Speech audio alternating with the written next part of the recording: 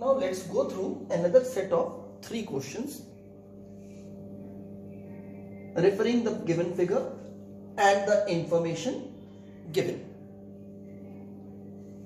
देखते हैं क्या लिखी है इंफॉर्मेशन हमारे पास कह रहा है capacitor C1 and C2 are separately charge to potential 12 volt and 6 volt respectively and then are connected as shown in figure after S is close फिर क्वेश्चन है हमारे क्या कह रहा है कि हमारे पास दो कैपेसिटर्स हैं C1 और C2 जिनकी फिगर में हमें वैल्यूज़ दिखाई दे रही है 6 माइक्रोफेराड और 3 माइक्रोफेराड है इनकी वैल्यूज़ कह रहा है इनको सेपरेटली चार्ज किया गया है। यानी कि इसको अलग से किसी सोर्स के साथ लगा के चार्ज किया, इसको अलग से किसी सोर्स के साथ कनेक्ट करके चार्ज किया। इसको चार्ज किया गया जिस पोटेंशियल पे, वो 12 वोल्ट है और इसको जिस पे चार्ज किया गया है, वो 6 वोल्ट है। जब ये चार्ज हो गए तो उन सोर्स से इन्हें डिस्कनेक्ट कर लिया और ला करके इस तरह से कनेक्ट कर दिया। अब कनेक्शन जरा ध्यान से देखिएगा कैसे है। अभी स्विच ओपन है। इसका पॉजिटिवली चार्ज प्लेट इसकी नेगेटिवली चार्ज प्लेट से कनेक्टेड है by means of this switch और इसकी नेगेटिवली चार्ज प्लेट इसकी पॉजिटिवली चार्ज प्लेट से कनेक्टेड है। यानी कि ऑपोजिट चार्ज नेचर के चार्जेस जिन प्लेट्स के पास हैं, वो कनेक्टेड है इनकी आपस में। अब देखते हैं क्वेश्चन क्या पूछ रहा है हमसे। सबसे पहला क्वेश्चन कहता है the final common potential is अब कह रहा है कॉमन पोटेंशियल निकालो। तो पेज नंबर फोर फिर से याद कीजिए उस पर आपने दो कंडक्टर्स को कनेक्ट किया था, वो सेम फॉर्मूला कैपेसिटर्स के लिए भी वैलिड होता है। तो उसमें कॉमन पोटेंशियल का फॉर्मूला था हमारा। वो फॉर्मूला पहले मैं लिख दूँ एक बार। वो कॉमन पोटेंशियल का फॉर्मूला था V equals to C one V one plus C two V two upon C one plus C two मैंने पहले भी आपको रिकॉल कराया था, फिर कर। रहा हूँ इसी में नीचे लास्ट में एकदम, आपको बहुत केयरफुल रहने को कहा गया है, जिसमें आपको कहा गया है कि जब आप वैल्यूज़ प्लेस करोगे, किसकी किसकी? V1 V2 की या Q1 Q2 की। क्योंकि Q1 Q2 क्या है? मैं इनको अगर मल्टीप्लाई कर दूँ तो यही चीज़ क्या हो जाती है? C1 V1 का मतलब Q1 हो जाएगा C2 V2 का मतलब Q2 हो जाएगा। अपॉन C1 प्लस C2 ऐसे भी लिख सकता हूँ मैं इस फॉर्मूले को। तो आपको कह रहा है जब आप इस फॉर्मूले को यूज़ करोगे तो V1 और V2 की वैल्यू सब्सटीट्यूट करोगे तो ध्यान रखते हुए करोगे, उनकी साइन के साथ करोगे, या Q1 और Q2 की वैल्यू सब्सटीट्यूट करनी है तो वो विद साइन सब्सटीट्यूट करनी है। कैपेसिटर के साथ कोई प्रॉब्लम नहीं है, हमेशा ही पॉजिटिव है हमारे पास कैपेसिटेंस हमें जो कंसिडरेशन में लेनी है, वो कैपेसिटेंस हमेशा पॉजिटिव है। ठीक है? हमारे सिलेबस के अंदर पॉजिटिव कैपेसिटेंस है। तो चलो पहले मैं एक बार इस फॉर्मूले को रेफर करता हूँ तो देखते हैं कि कॉमन पोटेंशियल हमारे पास V कैसे निकलेगा मैंने ये प्लेट कंसिडर कर ली, ये हाई पोटेंशियल पे, ये लो पे। ये लो पे, ये हाई पे। यानी कि इधर से इधर जाऊँगा तो इसमें से इसमें पोटेंशियल कम हो रहा है, लेकिन इसमें बढ़ रहा है। इसका मतलब है अगर इसे मैं पॉजिटिव में लिखूँगा V1 को तो इसको V2 को मैं माइनस में लिखूँगा। C1 की वैल्यू मैंने लिखी सिक्स माइक्रोफेराड V1 की वैल्यू मैंने प्लस में सब्सटीट्यूट की 12 वोल्ट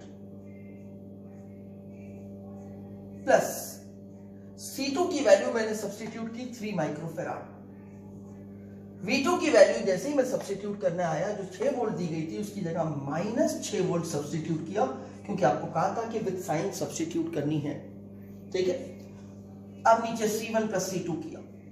C1 प्लस सी मैं डायरेक्टली एक बार ऐड कर देता हूँ तो ये 9 आया।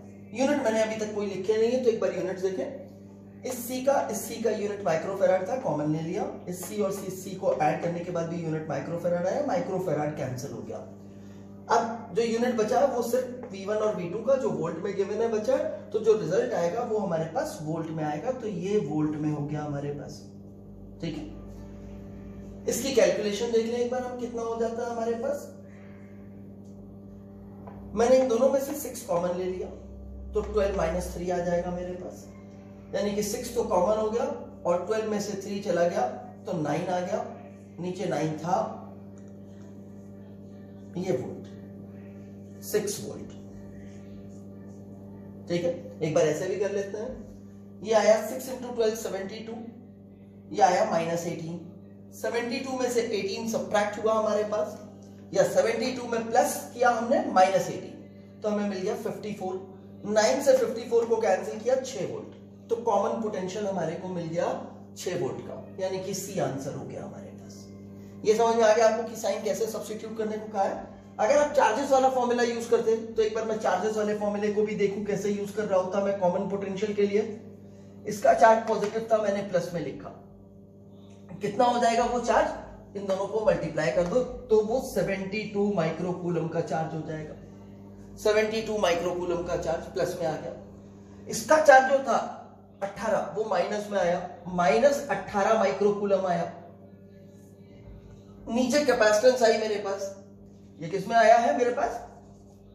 माइक्रोकूलम में। और नीचे दोनों को ऐड किया।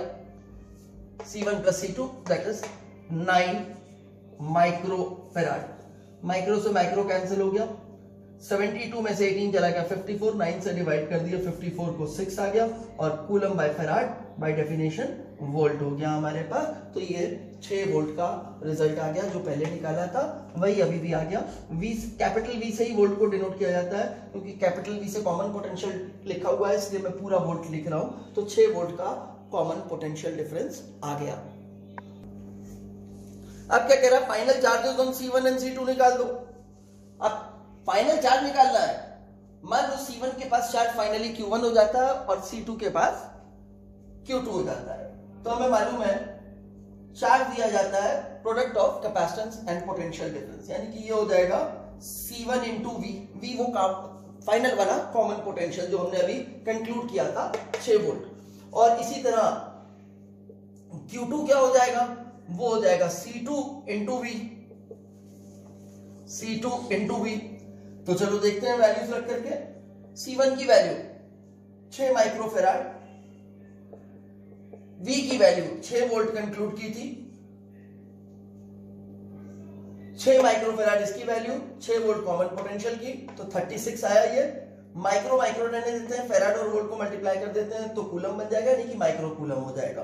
तो Q1 की वैल्यू आ गई हमारे पास 36 माइक्रो कूलम अब Q2 की बात करते हैं। तो Q2 के लिए बिल्कुल सेम तरीके से Q2 टू इक्वल्स टू सी की वैल्यू हो गई तीन माइक्रोफेराड V तो कॉमन ही था, छह वोल्ट का, छह वोल्ट से मल्टीप्लाई किया इसे। तो ये आ गया सिक्स इंटू थ्री एटीन और यूनिट बन गया इसका माइक्रो कूलम का। यानी कि कितना हो गया हमारे पास? फाइनल चार्ज टोटल चार्ज कितना हो गया है? 36 इसके पास और 18 माइक्रोकूलम इसके पास। तो इसका मतलब हमारा पहला आंसर बना। एक बार law of conservation of charge देखें, होल्ड कर रहा कि नहीं? शुरू में स्प्लिट के पास कितना चार्ज था? तो हमने देखा जल्दी से 6 इंटू ट्वेल्व सेवेंटी का पॉजिटिव चार्ज माइक्रोकूलम में। इस प्लेट के पास शुरू सॉरी इस प्लेट के पास कितना चार्ज था? इसका ऑब्वियसली माइनस सेवेंटी टू होगा, वो मैं लिख नहीं रहा हूँ। इस प्लेट का नेगेटिव वाली प्लेट का जो आपस में करेक्ट हो जाएँगे, उसका चार्ज देखते हैं कितना था। छह इंटू तीन अट्ठारह। ये वाला चार्ज हो गया मेरे पास माइनस अट्ठारह माइक्रोकूलम का इस प्लेट के ऊपर चार्ज नेगेटिव हो गया। दोनों का मिलाकर के टोटल चार्ज कितना था शुरू में? 72 प्लस नेगेटिव ऑफ़ 18 तो ये आ गया 54 और फाइनली भी आप देख रहे हैं 54 है। इसका मतलब charge can neither be created not be destroyed अभी भी law of conservation of charge hold कर रहा है। तो ये हमारे पास सेकेंड क्वेश्चन का सॉल्यूशन हो गया।